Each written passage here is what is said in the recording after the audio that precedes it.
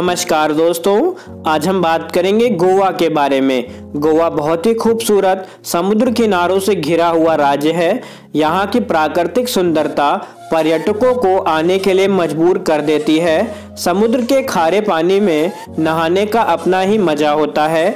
अगर आप एक बार गोवा जाते हैं तो आपका दिल करेगा बार बार जाने के लिए यहाँ की खूबसूरती बहुत ही निराली है। नंबर वन गोवा क्षेत्रफल के हिसाब से भारत का सबसे छोटा राज्य है। गोवा की राजधानी पणजी है। नंबर टू गोवा का समुद्र तट 101 किलोमीटर लंबा है। नंबर थ्री खूबसूरत समुन्दर के किनारों पर गोवा बसा हुआ है और इसी वजह से पूरी दुनिया में मशहूर है। छोटे बड़े 40 समुद्र तट गोवा में स्थित हैं। नंबर फोर गोवा का मुख्य उद्योग पर्यटन है। यहाँ पर सबसे ज़्यादा भीड़ गर्मी के दिनों में होती है। वर्षा ऋतु के आगमन के साथ ही गोवा की प्राकृतिक सुंदरता और खूबसूरत हो जाती है। नंबर फाइव गोवा में सबसे अधिक स्कूटर चलते हैं और पर्यटक भी घूमने के लिए स्कूटर ही चुनते हैं। यह सस्ता और आरामदायक भी होता है। नंबर सिक्स आप गोवा में छुट्टी बिताने कभी भी जा सकते हैं। गोवा में पीक सीज़न अक्टूबर से जनवरी तक का होता है। इस दौरान यहाँ बहुत भीड़ रहती है। मुख्य रूप से न्यू ईयर के समय आम इंसान से लेकर सेलिब्रिटी हर कोई यहाँ जाना चाहता है। न्यू ईयर सेलिब्रेट करने के लिए। न्यू ईयर की शाम यहाँ का माहौल देखने लायक होता है।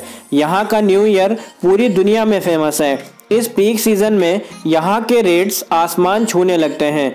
रुकना, खाना, पीना इस समय बहुत महँगा हो जाता है। जो लोग पीक सीज़न में नहीं जा सकते हैं, वे मानसून में गोवा का मज़ा लेने जाते हैं। जून से सितंबर के बीच मानसून सीज़न में यहाँ स्पेशल डिस्काउंट भी रहता है जिससे उचित दाम में आपको गोवा के मज़े मिल सकते हैं। दोस्तों, यहाँ का एक बहुत ही फ़ेमस बीच है, जिस बीच का नाम है अंजुना बीच यह नॉर्थ गोवा में स्थित है। यहाँ हर बुधवार फ्ली मार्केट लगता है। यहाँ लोग बहुत ही अधिक मात्रा में आते हैं और शॉपिंग का मज़ा लेते हैं। इस बीच में हमेशा लोगों की भीड़ रहती है, क्योंकि सबसे ज़्यादा फ़ेमस बीच गोवा का ये माना जाता है। अगर आप भी अंजुना नहीं गए हो, जो कि गोवा के नॉर्थ गोवा में स्थित है तो आप एक बार ज़रूर जा सकते हो। यहाँ एक और फ़ेमस बीच है, जो काफ़ी ज़्यादा व्यस्त माना जाता है, जिसका नाम है बागा और काल गुंते बीच।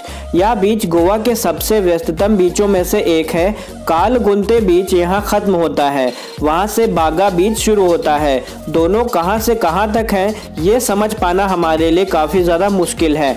बागा बीच काल गुंते बीच से ज़्यादा डेवलप है और यहाँ भीड़ भी कम नहीं होती है। यहाँ आप लोग वाटर स्पोर्ट का मज़ा लेने जाते हैं। अगर आप अच्छे खाने और वाइन का मज़ा लेना चाहते हैं तो आप इस बीच में ज़रूर जा सकते हैं। यहाँ पे काफ़ी ज़्यादा रेस्टोरेंट्स आपको मिल जाएँगे और काफ़ी ज़्यादा मज़ा आपको इस बीच में देखने को मिल जाएगा। लेकिन ये बात आप ध्यान में रखिएगा कि ये बीच किसी भी सीज़न में खाली नहीं रहता है, क्योंकि बहुत ज़्यादा भीड़ रहती है इस सीज़न में, चाहे जिस भी सीज़न में चले जाओगे, आपको यहाँ पे भीड़ कम नहीं मिलेगी। सो सोच समझ के जाइएगा, अगर आप बांगा और काल गुंते बीच जाना चाहते हैं तो। दोस्तों, आपको कैसा लगा हमारा ये वीडियो? आप वीडियो पे कमेंट करके ज़रूर बताइएगा।